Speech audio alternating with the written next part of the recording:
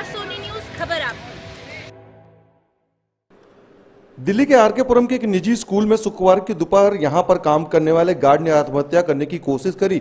वह स्कूल की छत पर चढ़ गया और उसके हाथ में तेजाब की बोतल थी। गार्ड के पत्नी का कहना है कि बीच बचाव में तेजाब का बोतल जो है हाथ से छूटकर ज़मीन में जाकर गिर गया। जी हाँ स्कूल के दरवाजे के पास जाकर गिरा और उस वक्त पूरा स्कूल के बच्चे और वह गेट पर बच्चों को ले जाने के लिए जमा थे। इसी परिस्थिति में सबसे राहत की बात यह रही कि तेजाब से किसी को भी कोई गंभीर नुकसान नहीं हुआ। गार्ड और उसकी पत्नी दोनों ही इस स्कूल में बीते कई सालों से काम कर रहे हैं और गार्ड की पत्नी का आरोप है कि तनख्वाह कम लेकर कई दिनों से इन्हें दिक्कत आ रही थी। स्कूल प्रशासन ने इन्हें निकालने की तैयारी थी। इसी बात को लेकर डिप्रेशन में आकर उनके पति ने ये कदम उठाया। पूरे मामले के दौरान जब हम इस इस स्कूल के अंदर गए तो वहाँ की कहानी कुछ और ही सामने आई। स्कूल के अंदर काफ़ी संख्या में अभिभावक मौजूद थे। उनका आरोप है कि जिस तरह से पूरा हादसा हुआ, वह हादसों से सुरक्षा के दृष्टिकोण से काफ़ी चिंतित हैं। यह लोगों का कहना है कि प्रिंसिपल इस पूरे मामले में बोल नहीं रही हैं। उन्होंने कुछ भी नहीं पता है कि अभिभावकों को कि किस तरीके की घटना स्कूल में घटी है। वहीं स्कूल में बच्चों के पीने के लिए पानी भी नहीं है और बाथरूम में भी काफ़ी पानी, काफ़ी दिनों से पानी नहीं आता है। तो स्कूल में बच्चों को गंभीर से गंभीर सजा भी दी जाती है।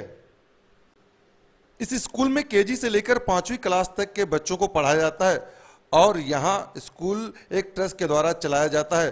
पूरे ड्रामे के बाद सौ नंबर पर कॉल की गई और पुलिस को गार्ड आरकेपुरम थाने लेकर गई। हालाँकि खबर लिखे जाने तक किसी तरह से कोई भी पुलिस को लिखित में शिकायत नहीं दी गई है। कैमरामैन धर्मेंद्र कुमार के साथ राकेश सोनी आरसी न्यूज़ दिल्ली।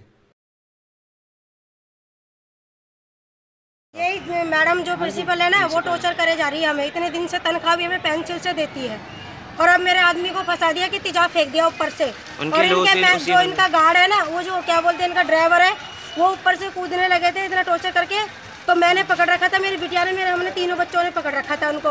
और जो ड्राइवर है उन्होंने उठा के तेजाब नीचे फेंक दिया। और अब हमारा नाम लगा रहा है कि चौकीदार ने फेंक दिया तेजाब। अच्छा तो आपके हस्बैंड यहाँ पे चौकीदार? हाँ जी हमें निकाला जा रहा था जी बिगर रीजन लेटर के हमें निकाल रहे थे ये लोग। कितने दिन से आप लोग नौकरी कर रहे हैं हमें तो कम से कम पचास साल हो गए। पीढ़ी से पीढ़ी बीत गए हमारे पिताजी की नौकरी है। ससुर की नौकरी है हमारे की। तो हस्बैंड वाइफ दोनों लोग करते हैं हाँ जी। जब हमारा नेचर सही है जब तो हमें इन्होंने रखा गाड़ी की नौकरी पे।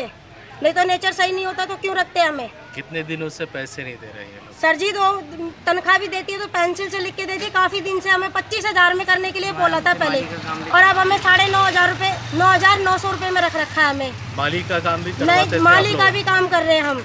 सारे एक ही, उसमें सब कुछ मतलब झाड़ू पोछा सब दो ही तनख्वाह में हमें रख रखा जी। हमें बहुत टॉर्चर करा गया जी इन्होंने। सॉक्स निकाल कर धूप में खड़ा करते हैं कोई पनिशमेंट होता है? और लड़के जैसे बॉयज़ हैं जो बच्चे हैं उनके पूरे कपड़े निकाल के धूप में पनिशमेंट देते हैं। वो भैया पीछे खड़े उनके बच्चे को खूब पनिशमेंट देते अब बच्चों को क्या समझाते हैं? डेली बच्चों को मारते हैं एक छोटी छोटी गलती पे सैतानी पे बहुत मारते हैं। और दूसरा क्या सीख लेंगे? मम्मी पापा से नहीं बोलते हैं। के जी क्लास में पढ़ती है। मेरी लड़की। कितने क्लास से कितने क्लास तक का स्कूल नर्सरी से फाइव फाइव फिफ्थ तक है फिफ्थ तक है। हम तो ये कह रहे हैं मुझे बच्चा नहीं चाहिए। पेरेंट्स पे गिरा बच्चे पे गिर जाते तो इसकी ज़िम्मेदारी हमें इससे मतलब नहीं है इसकी ज़िम्मेदारी नहीं ले रहे। दो तीन पेरेंट्स पे गिरा है। और ये और देखो गेट के पास गिरा बच्चे का जिम्मेदार बच्चे खाना खाते हैं जैसे उनको पानी नहीं। कल हमारे बच्चे ने कुछ किया हमारी मेरी लड़की है कि पाँच साल की। पाँच साल की बच्चे ने घर में आके कही लेटरिन बाथरूम में भी पानी नहीं है। लंच यहाँ पे पढ़ते हो तो क्या टीचर कुछ मारती पीटती हैं? क्या करते हैं? क्या किया था आपके साथ? क्या किया था आपको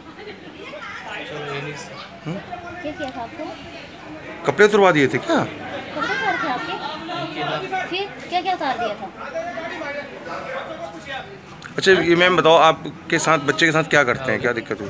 सर दिक्कत ये है कि बच्चा वो घर में आके बोल रहा था मैंने बड़ी ड्रेसअप करके भेजा था लेकिन बच्चा जैसे घर आया तो इसके सारे काले ये थे लेकिन ड्रेस साफ़ थी। तो इससे तो यही पता चलता है कि बच्चे के कपड़े उतार दिए धूप में खड़ा कर रखा था। तो ये सारा अंदर से तो उसका फुलिया ख़राब था, लेकिन ये ड्रेस सही थी।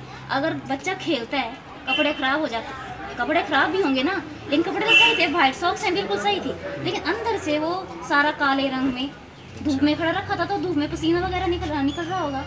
इस वजह से बच्चा बोल रहा था कि मेरे को धूप में खड़ा रखा था। एस एम बी में पढ़ता ये और कोई सीना नाम बता रहा था मैम का कि और जब वो बाहर निकाल रही तो उसको दरवाज़ा बंद कर कितनी उम्र है बच्चे की और चार साल। अच्छा आपने पूछा फिर स्कूल में आके क्या बताया उन्होंने? नहीं मैं स्कूल में नहीं आई। बोल रहा था कि स्कूल में आज जाओ टीचर पिटाई करेगी। आप तो घर में बैठे रहोगे लेकिन वो मुझे फिर धूप में खड़ा तो बच्चा तब से डरा हुआ है स्कूल नहीं आता? नहीं स्कूल आता ही। स्कूल आने के कभी नहीं रुकता ये। मैं सोचती आज सही हो जाएगा लेकिन कोई पेरेंट्स बात ही नहीं करता। मैंने बात की बार पेरेंट्स तो बोल रहे हैं नहीं हमारे बच्चे के साथ ऐसा नहीं होता। इसको रिकॉर्ड करोगे? किस लिए ये सब चीज़ें छोड़िए कोई इतना ज़्यादा भी नहीं होगा। शांति से हो मैम तो मतलब गिर रहा तो मतलब एसिड गिराया है दरवाजे पे आप लोग बोल रहे हैं देखिए क्या हुआ? आप अपनी तरफ़ से जो वर्जन है वो बता दीजिए। किसी के लिए फालतू बोलेगा मैं तेज बच्चे नहीं हैं। हाँ। नहीं। क्या हुआ था आज यहाँ पे? वो बताइए बस कि क्या हुआ? हम तो बिल्कुल अंदर आराम से हो गया बस खत्म। उसके बाद क्या हुआ हमें पता ही नहीं हम तो अंदर पे बाकी टीचर्स को पे दे रहे थे। नहीं एसिड भी यहाँ पे आपके गार्ड द्वारा यहाँ पे एसिड फेंका गया। ये तो बात आपको पता नहीं है। अब बेटे क्या बताओ हम बेटे टीचर आई। जैसे गार्ड को पे दी आया को दी मैं जमादार को दी सबको पे दी। मालिक को तो अभी आया नहीं था वो घर मैं कल आके ले जाऊँगा ठीक है उनको पे देकर तो टीचर्स को देना शुरू कर दिया। तो उसके वक्त के दौरान क्या हुआ? अब पे देंगे तो सबको पैसे नहीं भेज देंगे तो वो मतलब एसिड लेकर के स्कूल में आ जाना आप ये नहीं देखो वो रहता भी यही चौकीदार यही रहता है ना स्कूल में। पुलिस बता रही है कि उसने एसिड डाला आपका ड्राइवर भी था कुछ ऐसा भी था? वो तो बेचारा कुछ भी नहीं था। अच्छा जो यहाँ पेरेंट्स आरोप लगा रहे हैं कि बच्चों को पीने के लिए पानी नहीं है और बाथरूम में और बच्चों को पनिश किया जाता है धूप में खड़ा किया जाता है। आप देखते आके टीचर खुद वहाँ खड़ी होकर दो दो आठ आठ दस दस बच्चे निकालते हैं टीचर बच्चों को भेजती जा रही नहीं पनिश किया जाता है उनको में खड़ा किया जाता है। हम माँ बाप नहीं आपके भी बच्चे होंगे हमारे भी हैं। और पानी की बात करें तो हमने भी देखा पानी की मशीन है लेकिन पानी नहीं आ रहा देखो जो यहाँ रहता है गार्ड रहता है चौकीदार रहता है हम्म। वो मशीन चलाएगा ना सुबह पानी वो भरेगा ना नहीं आप प्रिंसिपल हैं हाँ तो हम लोग ने गए थे दिल्ली जल बोर्ड उनसे बोला भी था कहते एक दो दिन रुक जाओ आपको पानी भेज देंगे। वैसे पानी रोज होता है।